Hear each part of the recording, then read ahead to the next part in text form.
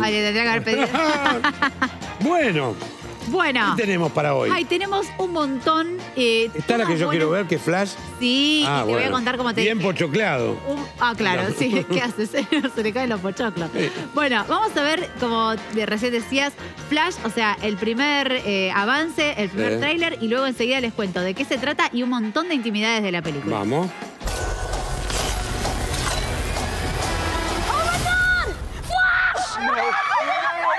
Hi. I love you. Thank you. Patching you into Mr. Wayne.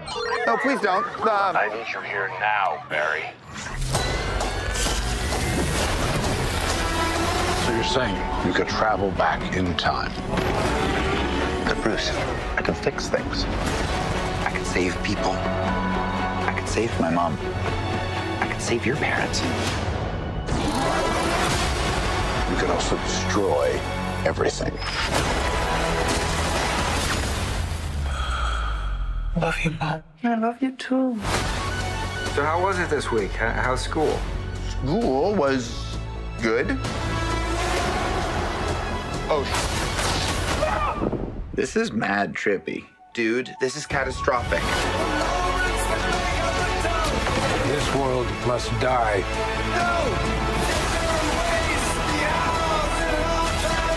I'm not gonna lose her again. Not Clark. My name is Kara. I will help you. Interesting group. Want some help? Wait, he's Batman? You want to get nuts? Let's get nuts. Oh, this rips!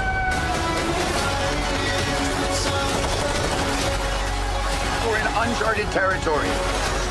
Batman, what do we do? We try not to die.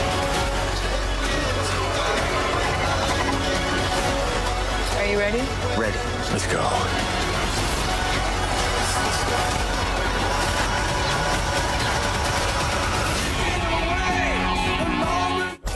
Y ahí Qué veníamos buena que entonces. está, por Dios. Ah, te quedarías mirando No, el no, trailer de vuelta. Porque está muy bien hecho, tiene mucho ritmo, o sea, Mm. hace que. eh, o sea, tiene todos los condimentos para que uno quiera ir al cine a ver esta Claro, película. me encantó. Ya lo habíamos dicho la semana pasada, hay un montón de películas que a partir de ahora ya van a quedar en cartel y que hasta que te diría prácticamente que terminen las vacaciones de invierno no las van a dar de baja. Mm. No. Y esta claramente es una de ellas. Bueno, tiene tantos condimentos esta película que es difícil un poco de arrancar a contar porque uno dice, bueno, ¿por dónde arrancamos? Bueno, el tema es el siguiente. Vamos a comenzar con el tema de lo- la línea argumental. Vos A ver. preguntabas por el tema del multiverso antes, ¿te acordás cuando lo, Sí. lo conversábamos? Bueno, yo te dije que esa es una idea de Marvel. Entonces, esto eh, pertenece al universo DC, ¿sí? Entonces... River y Boca es. Exactamente. Exactamente. Entonces, eh, no van a utilizar el mismo recurso que utilizan No. los otros porque... eh, Pero pero también eh, les copa esto de hacer interactuar a todos los personajes y Mm. de alguna manera como que se empiecen a mezclar en la ficción. Entonces, ¿cómo lo van a hacer? Bueno, en este caso utilizan un recurso que es que el personaje de Flash, que en realidad es como el alter ego de Barry, o sea, viaja al pasado porque lo que intenta revertir, o sea, ¿viste esta idea que muchas veces nosotros tenemos en la vida de modificar algo de Claro, pasado. Si, si pudiera cambiar algo del pasado, si pudiera, no sé, no cometer tal error, ¿cuál- o sea, ¿cómo hubiera sido la, la- la vida después? El tema es que lo que él quiere evitar es la tragedia que sucede en su familia y concretamente por lo de la muerte de sus padres, que en este punto es donde se hermana con Batman, porque Claro. son dos personajes a los que les pasó lo mismo. Entonces, si bien eh, Batman por ahí es como medio, en- dentro del universo DC, Eh. ¿no? Digo, es medio reacio a interactuar con otras figuras o con otros superhéroes. Bueno, pero en el caso este es como que hay una empatía especial que se va a ver en la película y que es lo que te estoy contando, el tema de que los dos tienen como un pasado en común. Cuando él viaja en el tiempo, o sea, por eso digo, no es como el, el tema del multiverso, sino como de un viaje en el tiempo, claro, cuando vos cambiás una cosita de acá, podés en el Modificar futuro, todo. ah, claro, Claro. hacer un desastre. ¿Y qué hace? Eh, directamente, o sea, Cambia todo. que, claro, genera un caos en el futuro. Pero en ese momento él como que siente que está enmendando una situación y está generando un caos. Bueno, a partir de ahí es donde se desarrolla la acción y ya no cuento más porque obviamente tiene que ver con toda la línea argumental de la película. Pero aparecen estos personajes que recién veíamos que no es Superman, sino que en realidad es la prima, porque tampoco es la mujer eh, maravilla, digo, No. para que se entienda. Es la prima de Superman que aparece eh, caracterizada y sí aparece Batman, que es como el verdadero, este, más allá del protagonista, el verdadero personaje Ajá, fuerte de de la película. sí. Bueno, eh, Andy Muschietti, que es el director, se reunió con Michael. Argentino. Sí, exactamente. Eh.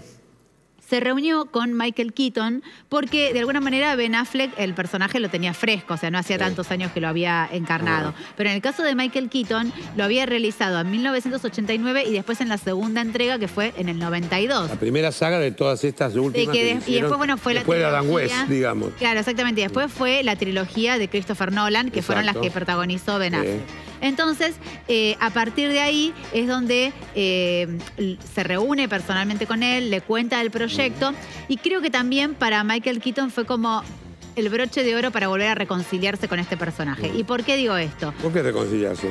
Porque no sé si vos recordás, mira, estoy como haciendo como un plot twist de to- todas las películas juntas, ¿no? Pero digo, cuando él hace Birdman, Birdman, que se gana el Oscar. Cuando gana el Oscar, Claro. de alguna manera era el actor que quedó encasillado en el superhéroe. Eh. Digo, había como muchas reminiscencias a Batman y donde la gente solo lo reconocía por ese personaje y donde era un actor en las sombras de un personaje, ¿no? Digo, estoy como mezclando varias películas. sí, pero- sí. Entonces, había mucho de Michael Keaton en el guion eh, de esa película.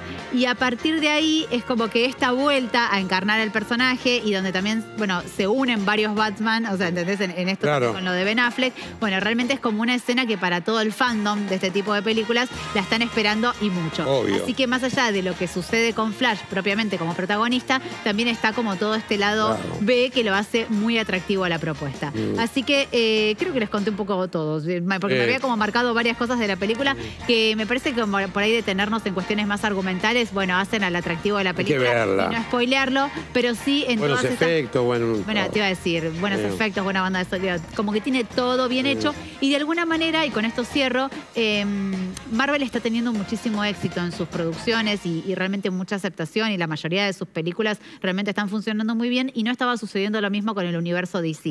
Entonces cambiaron a toda la cúpula creativa y eh, esta es la primera apuesta de esta nueva cúpula creativa. Mira. Entonces creo que también hay como mucho puesto, mucha expectativa, pero también muchos millones. O a mí me gustan mucho las de, las de, bueno, las de Mujer Maravilla son de DC, a mí me encanta. Claro, exactamente. Eh, Pero de la, de la nueva gerencia, de la nueva administración. Esta es la primera. Esta es la primera. Cuando Bueno. yo digo mucha expectativa, se traduce igual a muchos millones. Obvio. O sea, la expectativa también se traduce en millones. En el negocio. Entonces, eh, obviamente quieren que todo esto funcione y vamos a ver si luego habrá una segunda entrega eh, después de Flash, Sí. porque el final ameritaría a que sí, con esto Ah, no bueno. nada, pero también es cierto que por ahí el tema de traer viejos Batman y todo esto también haya gustado, así que veremos por dónde finalmente eh, encaran los próximos proyectos. Muy bien, linda propuesta para este fin de semana largo para ir a ver cine a ver Flash. Está, y ya eh, Claro. apúrense porque esta película es un flash. ¡Ay, se va rápido! Muy bien. Y sí, hay que sacar rápido Claro. la entrada. Bueno, pasamos ahora a plataformas. Ah, directo ya, mira. Sí, eh, vamos con eh, dos grandes estrenos. Eh, había uno muy, muy, muy esperado, sobre todo porque tiene, es una serie que tiene mucho, mucho fanatismo, mucho fandom que la venía siguiendo. Venían reclamando, ¿por qué no se estrena ¿Cuál? una temporada? Estoy hablando de Black Mirror. Sexta temporada. Eh, les voy a contar un poquito todo lo, lo que tiene que ver con la serie y por qué se demoró tanto en, eh, la- desde la última entrega hasta eh, el día de hoy. Pero primero vemos el adelanto y luego les cuento de qué se trata. You want to watch? Can't really do another true crime. What about? Oh my god. She even has your hair. The first question any platform is going to ask is what's the hook? Just to recognize that you're not in control of this. Is that Selma Hayek? Bingo. How's the coffee? Dog shit. I did not say that like that. This is an adaptation of Joan's life. Can everybody that has Streamberry watch this?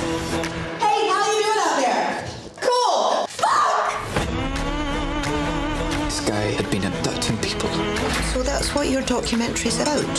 The details are so awful, it is irresistible. I love it.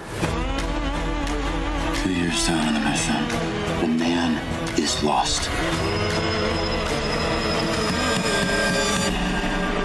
And we both feel that you could use a break. I think I'd like that very much. She got kicked off the movie set weeks ago. Nick's offering 30K for the first photo of her. Half of these assholes would kill themselves if we didn't take their picture. Miss Day? This way, you stink! You fancy writing down your number? I won't mind. I'm a crazy person. You're not crazy. I'm a murderer. You're the old crazy one.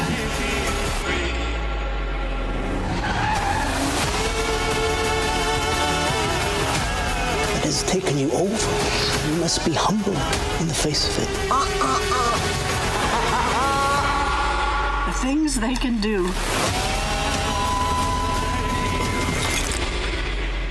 Y ahí veíamos este adelanto de la sexta temporada de Black Mirror. No que vi por ahí, ninguna. Bueno, te iba a decir, capaz, Contame claro, cómo es, a no, ver. no se entiende un poco qué es lo que Claro. estamos viendo. En realidad son eh, cinco capítulos que componen esta, se- esta sexta temporada, pero que en realidad son capítulos independientes uno de otro. O sea, no es que es una historia que se continúa. Ah, no. Entonces, eh, de pronto como que en el tráiler vos no es que veías una línea argumental o- o, como que te estaban anticipando ¿Pero algo. los une algo o no? No, en realidad, o sea, sí, los une como una idea central, que es la que ahora te voy a contar, pero eh, no hay a las historias entre Ajá. sí, o sea, no es que los Bien. personajes después se repiten en, en otro Sí. capítulo o algo así. Eh, la idea, cuando se estrena eh, Black Mirror en, en- en una, en una primera temporada y... A ver, estoy... No quiero bajarle el precio a esta última entrega porque realmente Ah. en lo personal soy muy fanática de la serie y hay mucha expectativa al respecto. Pero el tema es, ¿viste como que el diablo mete la cola? Sí. Bueno, Netflix metió la cola. Ah, ¿por qué? ¿Con qué? Comprando la franquicia. Y de alguna manera eso hace que se meta en la línea O argumento. el lineamiento de los argumentos, sí. Y entonces, para lo disruptiva que fue la serie en su momento cuando se lanzó y donde era un proyecto independiente que compra Netflix, Sí. no es lo mismo que Netflix ya pase a ser productor del mismo proyecto, ¿sí? De hecho, ahí lo veíamos en uno de los capítulos donde eh, se presenta y donde todo el tiempo se interactúa con una plataforma que tiene otro nombre, pero básicamente es la plataforma de Netflix. Entonces, Ujú. como que Netflix se vende a Netflix, ¿me entendés? O sea, es como medio raro en ese punto. Y sobre todo, la idea eh, tan, como te decía, disruptiva de dejarte.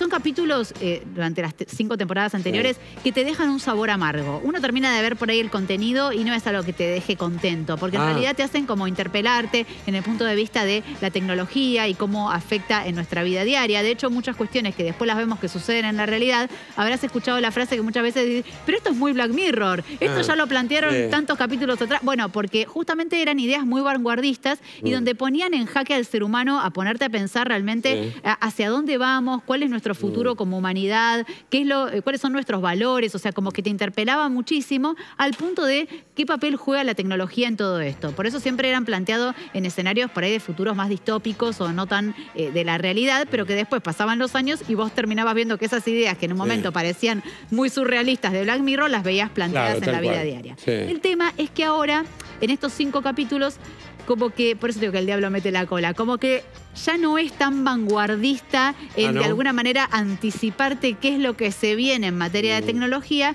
sino que viraron. Por ejemplo, hay dos que son en realidad capítulos de terror. Ah, Entonces ya como que no respeta esto que te acabo de contar Claro, de ciencia esencia de ficción lo que era. y un poco de interpelarte en cuanto a tus valores. Bueno, por otro lado, el tema que eh, quisieron innovar con lo que refiere a inteligencia artificial, que si yo te tuviera que decir que cuál es el en este momento el trending topic de lo que tiene que ver con la vanguardia tecnológica, tiene que ver con la inteligencia Bien. artificial. Y no hay ningún capítulo que aborde este tema, Ajá. lo cual también me pareció raro porque es el tema del momento. Y por otro lado, eh, sí abordan algunas cuestiones como muy actuales que tienen que ver con lo- el tema de las fake news, que ya Ajá. las han abordado en otros capítulos, pero lo hacen de un modo renovado, y que involucra el tema de los actores. Ahí te, te voy a poner de protagonista. Porque muchas veces ceden sus derechos de imagen, pero con todo el tema de la tecnología, como ese uso de la imagen Claro. puede terminar teniendo un fin que no era para el que vos habías cedido Exactamente, sí. Así que bueno, por ahí en ese punto sí es bastante actual el planteo y el debate. Así que un poco como el yin y el yang de, de esta, sí, temporada. esta temporada y con lo último y con lo que termino es se planteó, porque querían como innovar y- e ir a la vanguardia y que todo un capítulo entero pudiera ser redactado y escrito y guionado y, y craneado Sí. por la inteligencia artificial. El tema es que cuando lo quisieron poner en práctica y llevarlo a cabo, eh, realmente como que la inteligencia artificial no estuvo a la altura de Ah, poder realizar un capítulo de Black Claro. Mirror. Entonces, bueno, eso se dio de baja y eh, se volvió a la vieja usanza, que es básicamente como tiene que ser para mi criterio, que es la creatividad humana, que eso no hay máquina que lo pueda emular. ¿Esto es Netflix? Netflix, te iba a Netflix, decir. Y bueno, obviamente eh, eh, gente entrenada, preparada y capacitada para poder hacerlo. Así que eh, esto es lo que se viene. No quiero tirarlo abajo porque... No, pero aparte el que vio las cinco temporadas va a ver. y, y se van a dar cuenta por ahí de esto, de que abandonaron la esencia Claro, de, original de la serie, que era la de sorprender e interpelar. Bueno, pasamos ahora a acción. Y si quieres Sí. ver eh, una película de acción, Película. Sí, Ahora. película, pero también en Netflix, que va a estar disponible a partir de mañana. Ajá. Sacando los 10 primeros minutos de la película, donde ahora te voy a contar qué es lo que pasa, todo el resto es, Es de acción. acción, de que, de que pasan esos primeros 10 minutos hasta que termina. Ajá. Así que vamos a ver Misión de Rescate 2, porque es la segunda entrega. Vemos el adelanto y enseguida les cuento de qué se trata. Tyler, hace nueve meses estabas muerto. Sobreviviste. Pero luchaste por regresar. Solo tienes que descubrir por qué.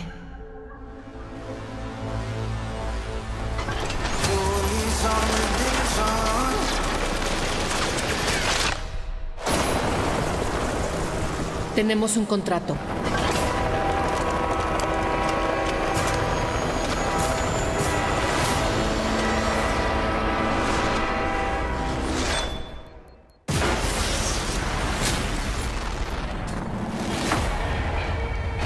Cliente los pidió a ustedes.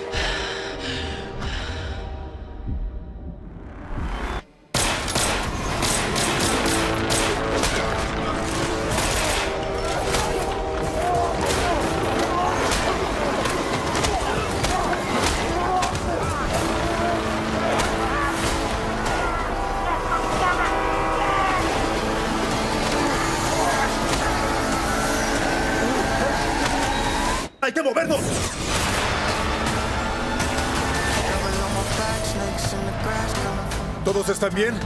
Niños, ¿cómo están? ¿Por qué regresaste por ellos? ¿La conoces? ¿Tyler?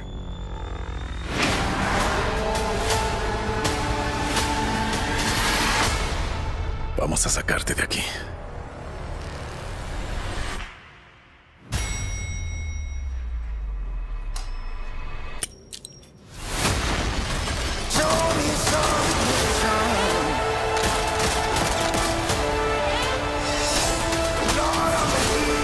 Dijiste que descubriera por qué luché por volver.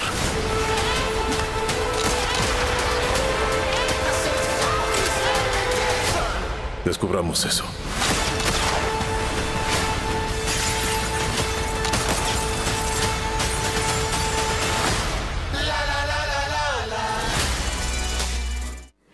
Veíamos entonces el adelanto de Misión de Rescate 2 y te Sí. decía que los 10 primeros minutos son los de no acción. Donde explican. ¿Dónde explican? ¿Qué es lo que explican básicamente? Y con esto no estoy spoileando nada porque los que vieron la 1 ya lo que van a decir, pero no entiendo. ¿Está el mismo personaje vivo? Sí.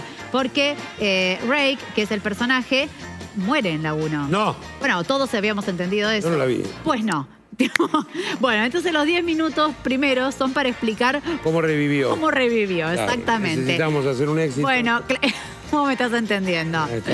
Este, que aparte, obviamente, eh, es Kim Hesrow, que seguramente muchos lo recordarán o la habrán visto cara Sí. conocida porque es el protagonista de Thor. Entonces, pero acá está con otro luquete y por eso por ahí cuesta reconocerlo. Entonces dijimos, pero murió. No, bueno, no murió, chicos. Eh, no murió y está vivo y te explican cómo hizo para sobrevivir. Ah, Entonces, bien. claro, como que había que darle una continuidad entre Claro. la 1 y la 2 y por eso te digo que esos primeros 10 minutos son de contar toda esta historia y a partir de ahí empieza la acción. Mm. Concretamente, eh, antes lo comentábamos mientras veíamos el tráiler, eh, están muy de moda estas películas donde buscan eh, la línea argumental pase por el que los villanos en Sí. realidad son los héroes, ¿sí? Como Sí. dar vuelta a la situación. John Wick podría ser un claro ejemplo, el personaje de Kenny Reeves, donde en realidad es un sicario y a primera vista sería como el malo, pero termina siendo el héroe de la película. Bueno, y en este caso lo mismo, es un mercenario que quiere dejar de ser mercenario. Ajá. Pero siempre se encuentra la vuelta sí. para que tenga que volver al ruedo. Claro. En este caso, concretamente, tampoco es que es muy sofisticado lo que les voy a contar, es rescatar a la familia de un gángster que está en prisión, que eran estos chicos y esta mujer que recién veíamos, y eh, de alguna manera, como él tiene y no quiero spoilear con esto, ¿eh?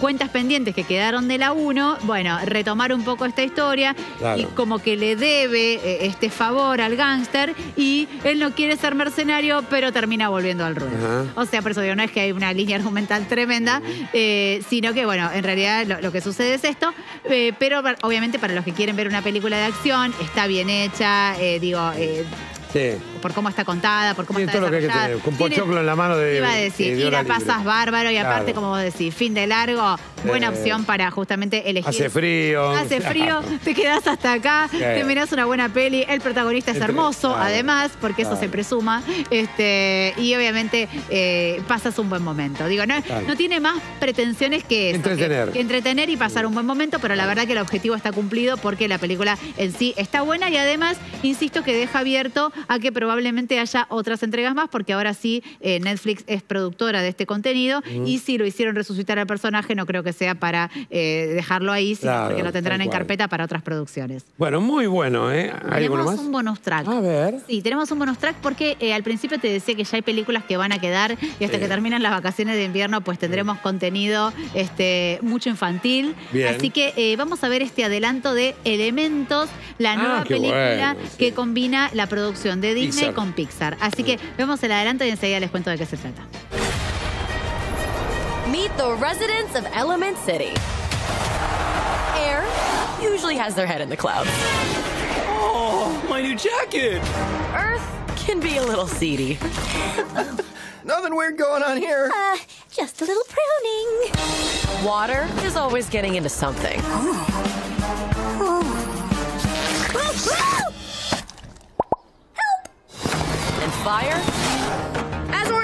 run a little hot. This shop is dream of our family. Someday it'll all be yours. But we all live by one simple rule. Elements cannot mix. The pipe squished me all out of shape. Dang. That's better. Oh. So you've never left Firetown? Sorry, buddy. Elements don't mix. Hey! Plus, my dad would boil you alive. Why does anyone get to tell you what you can do in your life? Come on! Why do they even have these? Eh, who knows? Watch this! Ember, I see a change in you. What, hair guy? You live here? It's my mom's place. We got two kids that are swimming around here somewhere. Marco! Follow! I've been trying to fill my father's shoes. I never once asked what I wanted to do. Try this. Dad, those are too hot. I love hot food. Mm.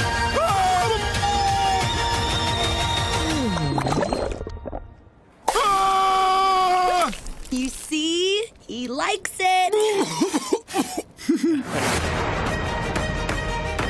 Bueno, y ahí veíamos entonces el adelanto de esta película que es para chicos pero que tiene una moraleja Claro. para grandes. Pero ya nos vienen acostumbrando los gente Sí. de Pixar a este tipo, ¿no? A este tipo, bueno, recién mencionábamos mientras veíamos Soul. el adelanto, claro, y In- los de Intensamente, Intensamente. en ese caso los protagonistas eran los sentimientos, ¿te acordás? Bueno, en este caso los protagonistas son los elementos. Claro. Entonces, eh, obviamente hay una ciudad que se llama Elemental City, Mm. donde eh, viven, bueno, fuego, que en realidad está bajo tierra, tierra, agua y aire. Ah, mirá. Como habitantes de cada uno de eh, los elementos. Mm. Y eh, concretamente se basa en la historia de Ember, que es la protagonista, Ujú. que es esta nena fuego, por decirlo de alguna manera, esta llamita, eh, que trabaja, eh, insisto, eh, fuego habita bajo la tierra, Ujú. eh, y trabaja en este local que es de su padre, y obviamente, bueno, ella fue criada bajo la premisa de algún día todo esto será tuyo. Sí. Creo que pasa a ver moraleja y que Mm. también por ahí nos toca a los más grandes.